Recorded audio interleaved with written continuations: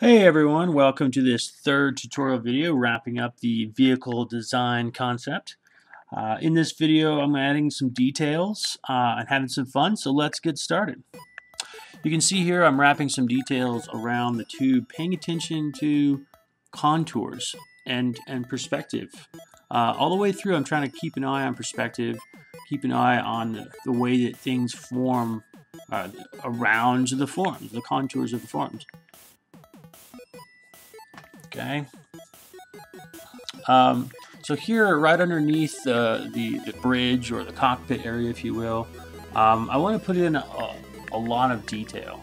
Um, just kind of fill this area up uh, with, with little uh, components. And the idea behind that is, is something called the 70-30 rule. And essentially what that states is that uh, you want to leave like 70% of your design um, easy on the eyes, you know, so lots of, of open areas, and then 30% of it is where your details at. So, and, and you want to break those up in different places as well.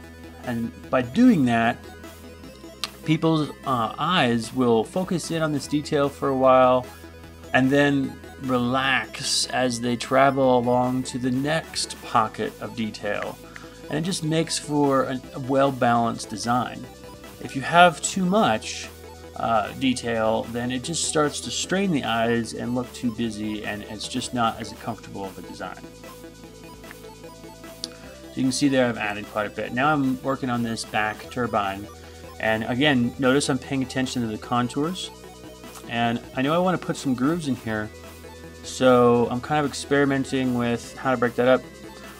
Watch here how I put a dot to represent the division. I'm kind of thinking of it like a pie and I'm making that little dot and then filling it in.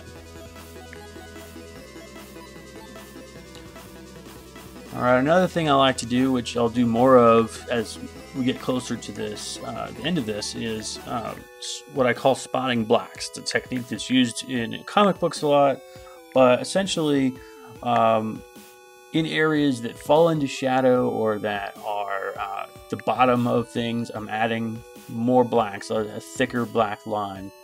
And just like the 70-30 rule, this gives your eye places to dance around the design rather than have every line be exactly the same, you know, width. So it's important a nice little way to, to add some intrigue to your design.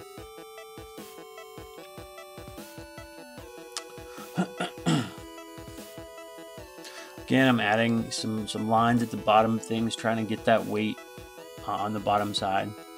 Over here, I'm going to jump into uh, the details of this other turbine. Again, notice how I'm breaking it up. Dot, boom, boom. Dot, boom, boom. Now I've got the four division, and now I'm just dividing the in-betweens by two. Dot, dot, boom, boom, boom, boom. Dot, dot, boom, boom, boom, boom. All right. Also notice that I'm following the contours of that cone, trying to curve around the edges, give it more realistic feel. Not just straight. If I drew it straight, the front of that turbine would look straight. I'm going to turn off my perspective grid, keeping it clean. I don't really need that anymore.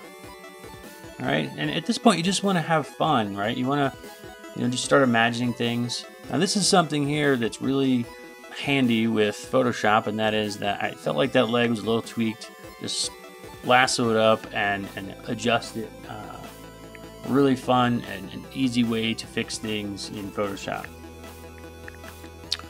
Alright, you'll notice here that I'm flipping the image back and forth. Another great tool that Photoshop offers that uh, if you're going to do this on piece of paper, you can always hold it up to a mirror, but flipping it is a great way to see if things are not quite lining up right, because your eye gets used to seeing things one way. When you flip it, you sometimes see things you never thought of before.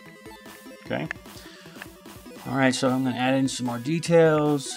You'll notice that my pen kind of dances around the page a little bit because sometimes I'm just trying to ghost in the line, find out where I want to draw, and I do this rather than draw and then hit Control Z or undo or draw and erase. Um, instead, I'm just kind of ghosting over an area and seeing the line in my mind and saying, well, what if I put this here? without actually drawing the line.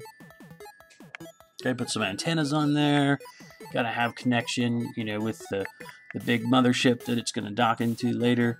Um, going back in, adding some more spot blacks, a little more details here and there. Again, I keep looking at this and saying, okay, what, how, does this feel? Does it feel balanced? All right, so now I'm starting to add a lot of panels in because I'm thinking about this thing being constructed and manufactured, you know, in a plant of some kind, just the same way that our vehicles roll out today. Um, unless you're designing a really alien ship uh, that everything's sleek and streamlined, chances are your ship is going to have access panels and bolts and things like that. So you got to think about how this thing might be constructed. And a great way to do that is to look at how real things are constructed. And when you look at a jet engine plane, you'll notice that there are panels on there. Even though they've been made as smooth and streamlined as possible, they're still panels. Alright, what I just did there with the windows is another way to add balance to your design by adding in those spot blacks on the windows, giving your eyes another place to land on, and then cruise over to the next section of the design. Drawing in another access panel here. Again, just having some fun with it. Where can I add this? I feel like the wings need some extra work. Um, so again, I'm ghosting in some lines. How does this look? All right. Uh, there's a little happy accident right uh, underneath that wing that I'm going to do right coming up. Where's it at? Right there.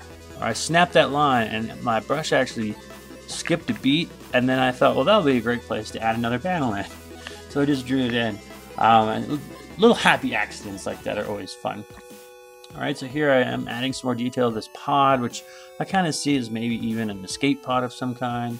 Um, adding some more panels around the edges. This panel I'm doing now kind of adds to the dimension of the ship. It lets you know how it's folding around that corner. Um, okay, looks like I'm just about done with this design. Just kind of touching up things here and there, adding a few more blacks, little little bits a piece here and there.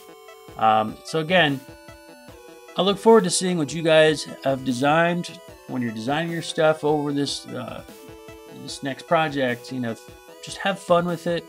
Try to keep it clean.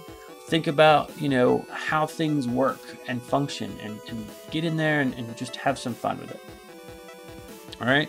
Hope you guys found this helpful and uh, enjoyable, and I look forward to seeing what you guys come up with.